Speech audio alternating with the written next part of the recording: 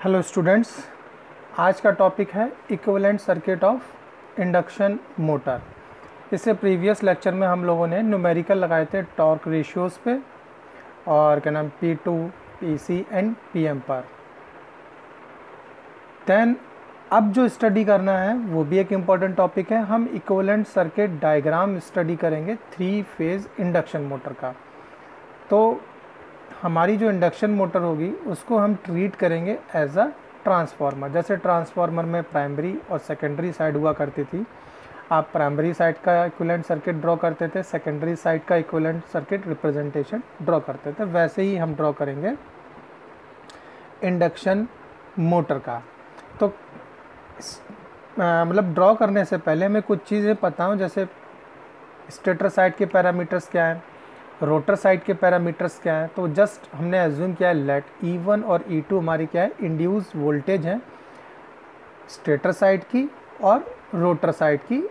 जो ई टू है वो मेरा स्टैंड स्टिल पर है जब मोटर आपकी स्टेशनरी है। Then turn ratio rotor turns upon stator turns that is E two upon E two E two upon E one इसको कर लिया डिफाइन अब रनिंग कंडीशन पे हमें पता है कि पैरामीटर्स चेंज होते थे, वो हम पहले ही प्रीवियस लेक्चर्स में देख चुके हैं कि रनिंग कंडीशन पे आपका ईएमएफ चेंज हो जाता है रिएक्टेंस चेंज हो जाता है इम्पीडेंस करंट पावर फैक्टर तो वो रनिंग कंडीशन पे जो है, वो पैरामीटर्स हमने एज्यूम किए कि ई टू आर आपका रोटर इंड्यूस ई पर फ़ेज़ है रनिंग कंडीशन पे। आर टू चूँकि उस पर कोई इफ़ेक्ट नहीं है स्लिप का तो वो आर टू चाहे रनिंग हो, चाहे स्टैंड स्टिल हो सेम ही रहेगा। एक्स टू आर चेंज होगा।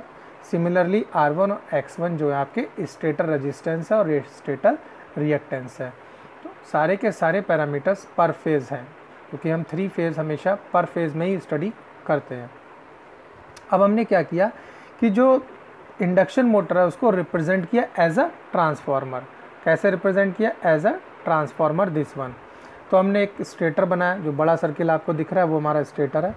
जो छोटा सर्किल है, जिसमें मैंने लाइनें खींच रखी हैं, वो है आपका रोटर और इस दोनों सर्किल के बीच का जो गैप दिख रहा है that is called air gap अब प्राइमरी साइड हमने ट्रीट की है स्टेटर को, और जो सेकेंडरी साइड है, उसको बोला है रोटेटिंग सेकेंडरी प्राइमरी साइड के पैरामीटर्स हमने ले लिए। प्राइमरी साइड की जो वाइंडिंग है, उसका resistance R one X one ले लिया। वोल्टेज, सप्लाई वोल्टेज आपकी वी वन है। मैग्नेटाइजिंग पार्ट को भी मैंने रिप्रेजेंट किया है that is R two sorry R naught और एक्स नॉट सेकेंडरी साइड पे जो पैरामीटर्स हैं, वो रनिंग कंडीशन पे, जैसे ई टू आर जो कि क्या है हमारा S X two R two और X two R S X two जिसकी वैल्यू है। तो हमने इंडक्शन मोटर को एज अ ट्रांसफार्मर बना लिया। अब इसी में पूरे जितने भी चीज़ें हैं, सबको वन बाय वन हमने समझाया कि इंडक्शन मोटर जब आपकी नो लोड पे है तो हमने एक नो लोड करंट को डिफाइन किया, जो कि होता है आपका I C plus I M phasor sum चूँकि ए सी क्वान्टिटीज़ हैं तो हम हमेशा फेज़र क्वान्टिटीज़ की फेज़र की तरह ट्रीट करते हैं फेज़र सम्स कैलकुलेट करते हैं। तो आई सी डिफाइन कर दिया active component I M define कर दिया magnetising component then R naught और एक्स नॉट आर नॉट क्या रिप्रेजेंट कर रहा है? No load losses. X naught क्या रिप्रेजेंट कर रहा है? Flux setup. और वैल्यूज़ क्या है? V one by I C और V one by I M. Then I is not is equal to I C plus I M अब बार बार हम ये वाला डायग्राम नहीं बनाएँगे तो इसको और सिंप्लीफाई करेंगे, जैसे कि ट्रांसफार्मर में हम लोग रिप्रेजेंट करते थे। जो हमारा कोर था उस कोर को रिप्रेजेंट करने के लिए या म्यूचुअल इंडक्शन रिप्रेजेंट करने के लिए हम इस तरीके से रिप्रेजेंट करते थे। तो राउंड सर्किल जो स्टेटर और सर, स्टेटर रोटर रिप्रेजेंट कर उसको हटा दिया मैंने।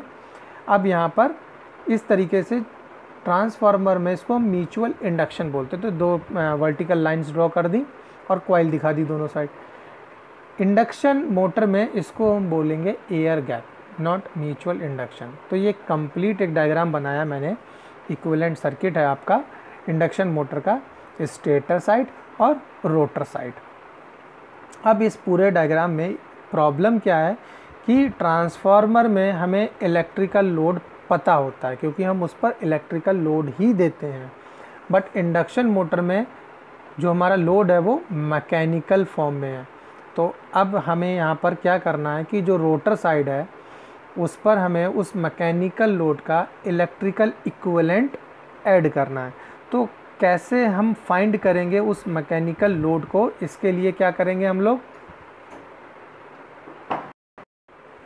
तो अभी हमें क्या करना है कि हमें अपने रोटर का जो रोटर साइड है, उसका जो मैकेनिकल लोड है, उसका इलेक्ट्रिकल इक्विवेलेंट डिफाइन करना है।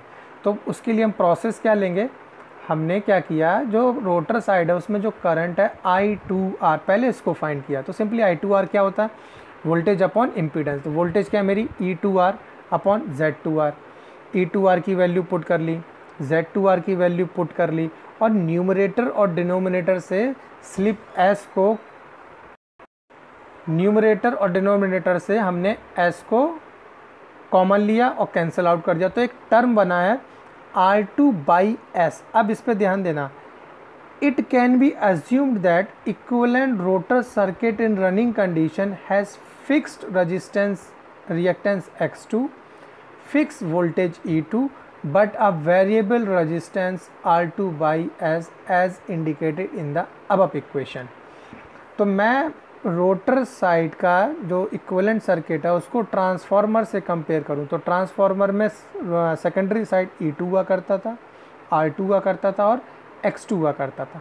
सिमिलरली हमको ये सारे पैरामीटर्स किस फॉर्म में चाहिए? ई टू आर टू और एक्स टू के फॉर्म में। तो उस फॉर्म में लाने के लिए मैंने आर टू बाई एस को पिक किया। That should is equal to R two by S जो आपका राइट हैंड साइड है उसमें मैंने आर टू ऐड किया और आर टू किया गॉट इट देखना समझना R two by S equal to R two by S इसी में मैंने आर टू ऐड किया आर टू किया मतलब अभी इक्वलिटी होल्ड करेगी देन मैंने क्या किया कि जो बाकी दो टर्म्स हैं उसमें से आर टू कॉमन ले लिया ब्रैकेट में बचा आपका one upon S minus one मतलब R two by S is equal to R two plus R two bracket में one minus S upon S अब ये जो है, दो टर्म में ब्रेक कर लिया। First one is R two R two itself is represent copper loss जो सेकेंड टर्म है, आपका आर टू ब्रैकेट में one minus S upon S which represent load resistance R L मतलब यही है हमारा मैकेनिकल लोड का electrical representation so it is electrical equivalent of mechanical load on the motor तो अब हम इसको रिप्रेजेंट कर लेंगे सर्किट डायग्राम बना लेंगे। तो सर्किट डायग्राम बनाने के लिए रोटर साइड के मैंने ए बी सी तीन सर्किट डायग्राम बनाया। ए डायग्राम इनिशियली वाला था, जिसमें ए टू आर था आर टू था और एस एक्स टू था। बी में क्या किया मैंने? स्लिप एस को वहाँ से रिमूव कर लिया E two X two R two by S हो गया। और जस्ट अब अब मैंने आर टू बाई एस को टू पार्ट्स में ब्रेक किया that is X two R two और आर टू ब्रैकेट में one minus S upon S ये है मेरा लोड रजिस्टेंस और ये है हमारे रोटर साइड का इक्वलेंट सर्किट फाइनली हम इसको बना लेंगे। अब इस पर बेस्ड न्यूमेरिकल आते हैं, लेकिन अभी भी चीज़ें कंप्लीट नहीं हुई, क्योंकि जैसे हम ट्रांसफार्मर में स्टडी करते थे कि पैरामीटर्स को हम रेफ़र करते थे स्टेटस पे पैरामीटर को रेफ़र करते थे रोटर पे। तो यहाँ भी हम अपने रोटर साइड के जितने भी पैरामीटर्स हैं, उनको शिफ्ट कर लेंगे स्टेटर पे। तो नेक्स्ट टॉपिक जो बनेगा वो है equivalent circuit refer to stator तो और जितने भी all parameters of rotor side refer to stator तो इस केस में याद करिए, जब बात इम्पीडेंस रजिस्टेंस और रिएक्टेंस की आती थी तो या तो आप के स्क्वायर से मल्टीप्लाई करते थे या डिवाइड करते थे।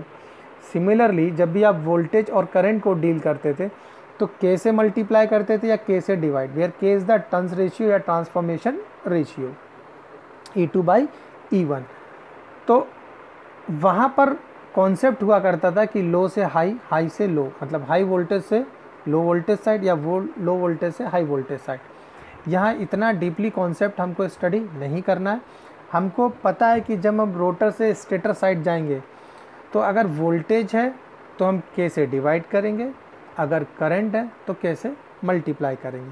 और जितने भी आपके रजिस्टेंस इम्पीडेंस और रिएक्टेंस हैं, इनको हम के स्क्वायर से डिवाइड करेंगे। तो पिकिंग वन हमने डिफाइन किया K is equal to E two by E one then E two dash की वैल्यू निकाली डैश रिप्रेजेंट क्या कर रहा है? जब हम रोटर साइड से स्टेटर साइड जाते हैं तो वैल्यूज़ चेंज होती हैं। तो वो जो चेंज वैल्यू है, उन्हीं को हम डैश से रिप्रेजेंट कर रहे हैं, जैसे E two dash I two R dash X two dash R L dash R two dash इस तरीके से। तो वो जो न्यू वैल्यूज़ आएँगी आपकी, जैसे ई टू डैश वो क्या होंगी? E two upon K similarly I two R dash क्या होगा? K times of I two R then X two dash जो कि क्या होगा X two upon K square R two dash R two upon K square R L dash R L upon K square ऐसे करते करते आप simplify कर लोगे। और सिंप्लीफाई करने के बाद एक कंप्लीट डायग्राम बनाओगे, जो आपके स्क्रीन पे इस समय बना हुआ है। हमने रेफ़र किया है आपका स्टेटर साइड तो स्टेटर साइड की वोल्टेज V1 करंट आपका I1 फ्लो हुआ। स्टेटर साइड की वाइंडिंग उसका resistance R1 reactance X1 magnetising part में करंट I नॉट फ्लो हुआ, जिसका resistance R naught reactance X naught current IC और IM अब वहाँ पर आपने जो एयर गैप था वहाँ पर रोटर साइड का सर्किट ऐड कर दिया। जाते जो कि क्या है? E two dash X two dash R two dash और R two R L dash जिसे हम बोलते हैं R two dash one minus S upon S simplify करके आता है। और इसमें करंट फ्लो हो रहा है आपका आई टू आर डैश अब इस इक्वलेंट सर्किट को थोड़ा सा और सिंप्लीफाई करते हैं, जिसका नाम है हमारा नेक्स्ट अप्रॉक्सीमेट इक्वलेंट अप्रॉक्सीमेट में क्या करते हैं? कि हम रजिस्टेंसेस एक तरफ़ कर लेते हैं और रिएक्टेंसेस एक तरफ़ कर लेते हैं। तो वही सर्किट डायग्राम मैंने दिखाया है। आर वन एक्स वन जो इस समय पहले आपका आपका लेफ़्ट हैंड साइड था, उसको शिफ्ट कर लिया मैंने राइट हैंड साइड और मैग्नेटिज्म पार्ट को लेफ़्ट हैंड साइड शिफ्ट कर दिया। अब मैंने क्या किया कि दो पैरामीटर्स डिफाइन किए हैं आपका आर वन ई और X one E R one E को मैंने क्या लिखा है आपका? Equivalent resistance to stator X one E E stand for equivalent equivalent reactance refer to stator values क्या हो जाएँगी? R one E is equal to R one plus R two dash X one E क्या हो जाएगा? X one plus X two dash और R two dash X two dash की value हम अब फाइंड कर चुके हैं बाय डिवाइडिंग के स्क्वायर तो हमने आर वन ई निकाल लिया एक्स वन ई निकाल लिया. अब इसी की हेल्प से मैंने आई वन डिफाइन किया फेज़र सम याद करिए ऐसी क्वांटिटीज हैं तो I one phasor is equal to I naught phasor plus I two R dash phasor दोनों current I naught no load current जिसमें I C phasor plus I M phasor तो last आपका जो इक्वलेंट सर्किट डायग्राम बनेगा, वो है आपके सामने स्क्रीन पर ये। ये है आपका अप्रॉक्सीमेट इक्वलेंट सर्किट डायग्राम जिसमें आपने रजिस्टेंसेस पूरा एक तरफ़ कर लिया रिएक्टेंसेस पूरा एक तरफ़ कर लिया लोड रिप्रेजेंट किया मैग्नेटाइजिंग पार्ट रिप्रेजेंट किया, सप्लाई वोल्टेज रिप्रेजेंट की। अब इसी पर बेस्ड आपको नोमेरिकल मिलेंगे जो कि टेन मार्क्स के होंगे। आप अटैम्प्ट कर सकते हैं ईजिली क्योंकि आपको आपको सारे फार्मूले पता हैं। आपको क्या पता है? मैं फिर से एक बार चीज़ें आपको समझाने की कोशिश करता हूँ कि इस लेक्चर में हम लोगों ने क्या स्टडी किया। हमने इस लेक्चर में स्टडी किया equivalent circuit of induction motor जिसको मैंने ट्रांसफार्मर से कंपेयर किया। ई वन डिफाइन किया ई टू मतलब स्टेटर साइड के पैरामीटर डिफाइन किए रोटर साइड के पैरामीटर रनिंग कंडीशन में। फिर एक ये डायग्राम बना लिया, लेकिन बार बार ये डायग्राम नहीं बनाएँगे बार बार हम सर्किल और ये सब नहीं बनाएँगे तो हमने इसको रिप्लेस कर दिया एयर गैप से।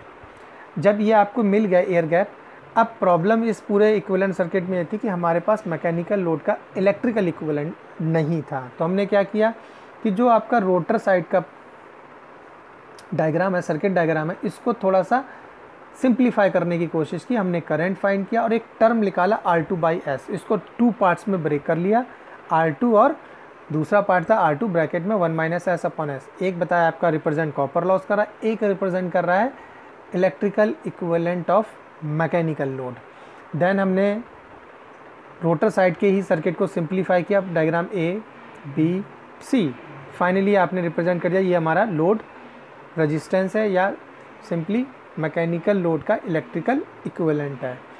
बट चीज़ें हम रेफ़र करते हैं तो हमने अब रोटर साइड के पैरामीटर को स्टेटर साइड रेफ़र कर लिया। यहाँ मैंने बताया था अगर वोल्टेज हो तो आप डिवाइड बाई के करेंगे करंट हो तो मल्टीप्लाई बाई के करेंगे।